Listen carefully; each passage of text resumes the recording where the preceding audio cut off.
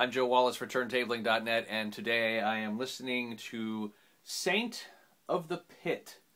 Any fan of Foetus or J.G. Thirlwell should love this record. And um, wow, um, it's avant-garde, it's electronic, it's um, it's full of the devil, and for people who aren't used to this type of music, uh, experimental and avant-garde uh, productions, this is definitely a WTF moment uh, for the uninitiated. And I have to say, if you want to clear out a room in a party full of normal, boring people, this is a damn fine record to do that with.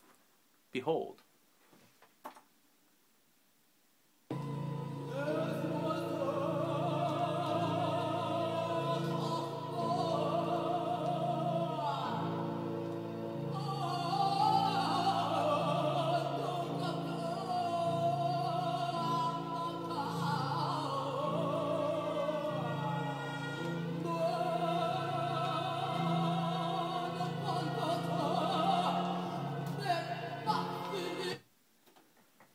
Being a DJ and being a turntablist and trying to uh, mash up various disparate and bizarre sources, I really appreciate this record because you can do a lot of mashing up with this sort of thing.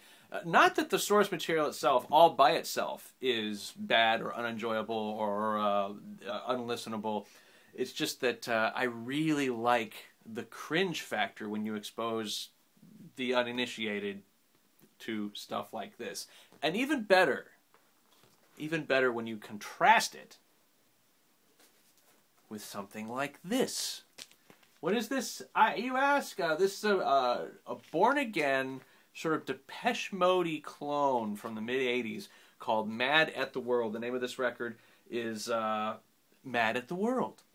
They had uh, two very sort of Depeche Mode electronic uh, synthesizer-driven dance floor type records, and uh, they were on a uh, born again Christian label called Frontline, and that that that Jesus message is right there front and center with just about every song.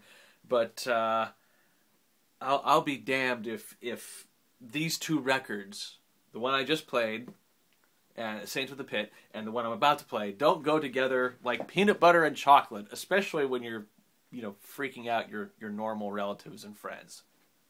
Have a listen to this.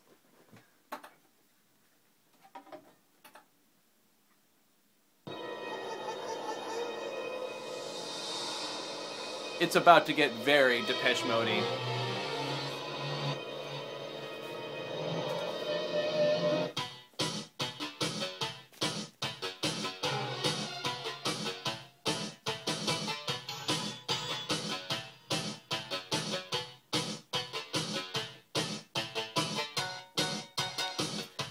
Sort of Erasure Depeche Mode, but we're, we're, we're nitpicking here.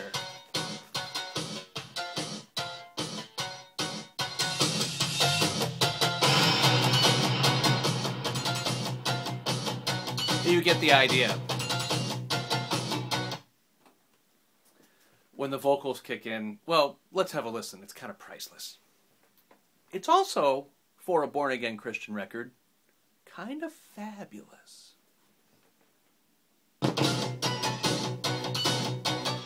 Any day now.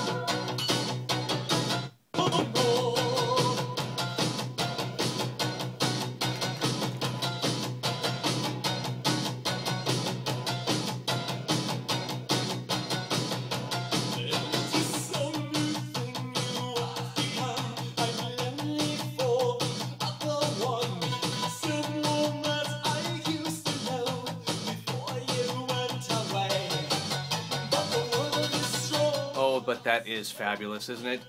Not that there's anything wrong with being fabulous, it's just that the stated uh, position of uh, said born again, uh, sort of right wing, fundy evangelicals, uh, not really conducive to uh, appreciating a lot of fabulousness. So, um, it's definitely a what the fuck moment for um, these two records put together side by side, played back to back or, or even individually for the, for the right people because, uh, well, wow. Born Again Depeche Mode versus Saint of the Pit.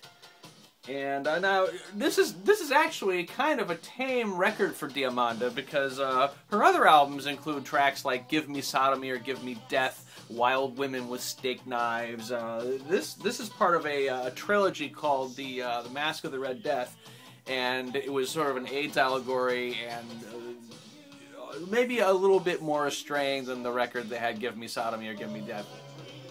You be the judge. But anyway. Um, the whole idea behind these videos is to uh, to expose obscure, odd, unusual, freakish, weird, uh, out of left field vinyl, and uh, sometimes put, putting uh, conflicting artists together to see what kind of strangeness comes out of it. Uh, coming soon, uh, a Mad at the World and Saint of the Pit mashup. Uh, it could happen. It could happen. I'm Joe Wallace, turntabling. I'm babbling, so we stop here. Uh, more uh, to be continued at length, ad nauseum, ad infinitum. Thanks for watching.